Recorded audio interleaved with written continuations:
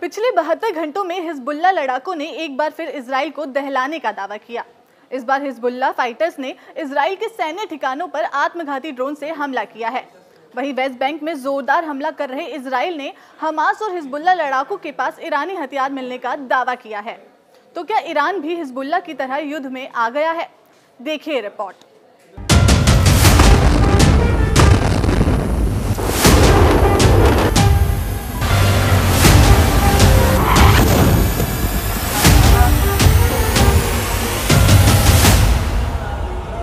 Israel Hamas युद्ध में Hezbollah खुल्लम खुल्ला हमले कर रहा है। हूथी फाइटर चुनौती देकर नेतन्याहू से टकरा रहे हैं। लेकिन अब हमास इसराइल के टकराव में ईरान की एंट्री हो चुकी है। यानी जिसका डर था वो युद्ध अब शुरू होगा। ईरान की मिसाइलों का सीधा मुकाबला नेतन्याहू के जंगी जेट करेंगे। ईरान के हथियारों को गाजा और वेस्ट बैंक में हमास फाइटर धुआंधार इस्तेमाल कर रहे हैं। इसका दावा इसराइल ने किया है कि ईरान के हथियारों के इस्तेमाल के मायने साफ़ हैं कि ईरान सीधे तौर पर युद्ध में आ चुका है। यानी अब युद्ध Israel versus Hamas Hezbollah Houthi और ईरान हो चुका है।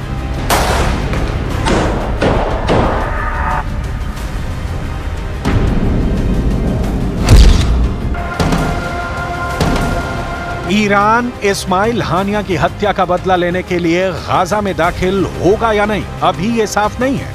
मगर इसराइल को कई फ्रंट पर घेरने का खामनेई प्लान शुरू कर चुके हैं, जिसमें ईरान को जॉर्डन का पूरा साथ मिलने जा रहा है।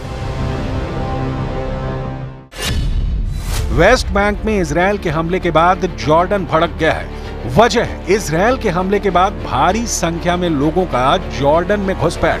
जॉर्डन बॉर्डर पर अफरा तफरी मचने के बाद किंग अब्दुल्ला ने आईडीएफ को वार्निंग दी है।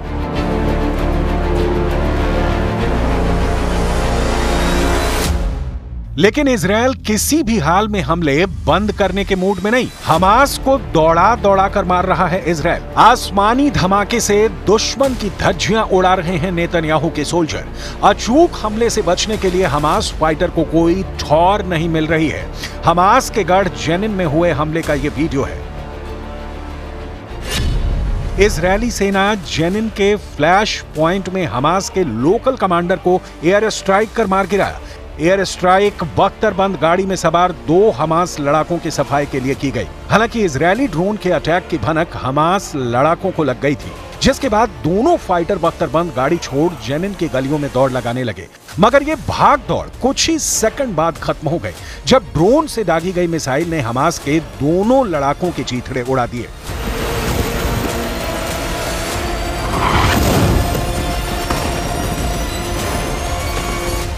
आईडीएफ की ग्राउंड फोर्स भी हमास फाइटर पर सटीक हमले अंजाम दे रही है। हमास लड़ाकों के खात्मे के ऑपरेशन को आईडीएफ कमांडो अब हेलमेट कैमरे में भी कैप्चर कर रहे हैं। ये वीडियो आईडीएफ कमांडो के हेलमेट में लगे कैमरे से ली गई है। इजरायली सेना ने वेस्ट बैंक में चल रहे ऑपरेशन का ब्यौरा इस वीडियो के साथ रिलीज़ किया है। जिसमें इजरायली बॉर्डर पुलिस के जवान, हेलीकॉप्टर, ड्रोन और बख्तरबंद गाड़ियों के तुल करम जेनिम और जॉर्डन घाटी में छापामार युद्ध को दिखाया गया है। इसराइल ने दावा किया है कि ईरान के वेस्ट बैंक में हमास और हिजबुल्ला लड़ाकों को बड़े पैमाने पर हथियार सप्लाई कर मदद पहुँचा रहा है। इजरायली एयरफोर्स के हवाई हमले सबसे ज़्यादा तबाही मचा रहे हैं। वेस्ट बैंक में दौड़ती गाड़ी को मिसाइल धमाके से उड़ाकर इसराइल ने बड़ी कामयाबी हासिल की है। इस जलती हुई गाड़ी में हमास के टॉप कमांडर के साथ चार फाइटर को इसराइल ने ढेर करने का दावा किया है आईडीएफ के हवाई हमले के बाद गाड़ी आग में जलकर राख हो गई हमास लड़ाके इस आग में भुन कर खाक में मिल गए हमास लड़ाकों को इसराइल ने ऐसी भयानक मौत दी जिसे देखने वालों की रूह कांप गई